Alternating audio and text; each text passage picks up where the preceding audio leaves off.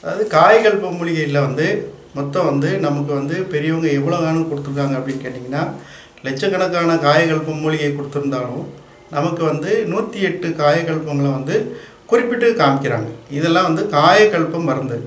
உடலை வந்து வஜ்ரமாக ஆக்கக்கூடிய ஒரு ஆற்றல் பெற்றது அப்படிங்கிறத சொல்கிறாங்க அது என்னதெல்லாம் என்னென்ன மூலிகளாங்கிறத சொல்கிறேன் கவனித்து பார்த்துங்க பொன்னாங்காணி பொன்னாங்காணி தகரை ஆரை சிறியானங்கை தோ ஜோதி விருட்சகம் பிலா தைலம். அதாவது பிலாக்குட்டையில் வந்து பிலா மரம் இருக்கு பார்த்தீங்களா? அதில் வந்து குட்டி பலான்னு ஒன்று உண்டு. அதில் வந்து தைலம் எடுப்பாங்க. அந்த கொட்டையில் தைலம் எடுப்பாங்க. அது வந்து காயக்கல்பு மருந்துன்னு சொல்லியிருக்காங்க. பேய் சுரை. சுரைக்கால வந்து பேய் சுரை. பேய் சுரை வந்து எப்படி சாப்பிடணுங்கிற விதிமுறைகள் இருக்குது கடுக்காய் சுக்கு இஞ்சி தேன் மாங்கனியின் தைலம் அப்படின்னு இப்போ பதிவு பண்ணியிருக்காங்க. இது எல்லாமே சேர்ந்து ஒரு மருந்து. இதில் என்னன்னு கேட்டிங்கன்னா கடுக்காய் சுக்கு இஞ்சி. தேன் மாங்கனியின் தைலம். இது எல்லாம் சேர்த்து ஒரு கல்பமாக சொல்லியிருக்காங்க. தேவதாளின்னு ஒரு மரம் இருக்குது அந்த மரத்தை காயக்கல்ப மருந்துன்னு சொல்லியிருக்காங்க. கோங்கு வந்து காயக்கல்பத்தில் சொல்லியிருக்காங்க. விஷ்ணு கரந்தி இது வந்து காயக்கல்ப மருந்தில் சொல்லியிருக்காங்க. பூபதியும் நாகமல்லி வந்து காயகல்ப மருந்தில் சொல்லியிருக்காங்க. குமரி குமரினா கற்றாழை. அது வந்து காயகல்ப மருந்தாக சொல்லியிருக்காங்க. அம்மான் பச்சரிசி சீந்தில் வேங்கை விருட்சகம் ரோம விருட்சகம் ஜோதிப்புல். இவை எல்லாமே காயகல்பத்தில் வருது.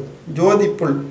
சாயா விருட்சகம் கருநெல்லி வெள்ளை சாரணையும் நார்கரந்தை அது நார்கரந்தைனா நாருங்கரந்தைன்னு சொல்லுவாங்க. அதில் சிவகரந்தையும் உண்டு. அதை பற்றி சொல்லியிருக்காங்க. ஆவாரை பொன் ஆவாரை. இது வந்து வெள்ளை நாவல் சுனகி விருச்சகம் தில்லை செண்பகப்பூ சந்தனம் தாண்டிக்காய் வெட்புலா சாரணை வில்வ வில்வ மரம் பேயன் வாழைப்பழம் கஞ்சாங்கோரை கரிசலாங்கண்ணி குப்பை மேனி நீர்மேல் நெருப்பு கண்டங்கத்திரி வெள்ளை கொடி சமுளம் அதுபோக என்னென்னா வள்ளின்னு வள்ளிக்கொடி.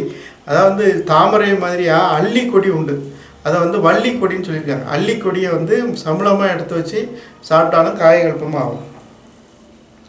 கொட்டிக்கிழங்கு எட்டி மர தைலம் குட்டி தக்காளி மணத்தக்காளி பொற்சீந்தில் கோடக சாலை கூத்தான் குதம்பை மாமர புல்லுருவி அத்தி சம்பளம் வாகை மரம் புளியாரை நிலவாகை கற்றாமரை நல்ல செய் குளம்படி செடி மலை மாமர வேர். அதனுடைய பட்டை சித்திரமூலம் சிவனாருடைய வேம்பு சிவனார் வேம்புன்னு சொல்லுவாங்க அது.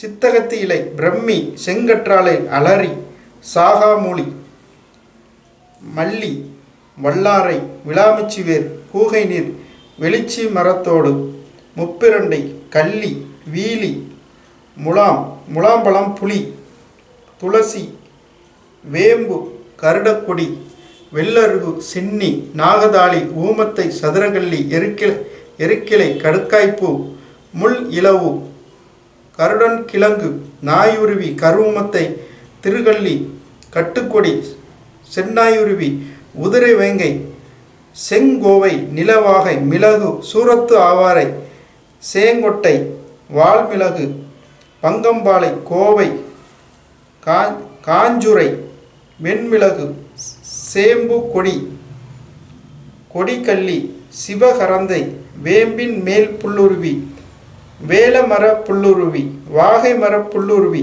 தேக்கு மர புல்லுருவி ஆலமர புல்லுருவி.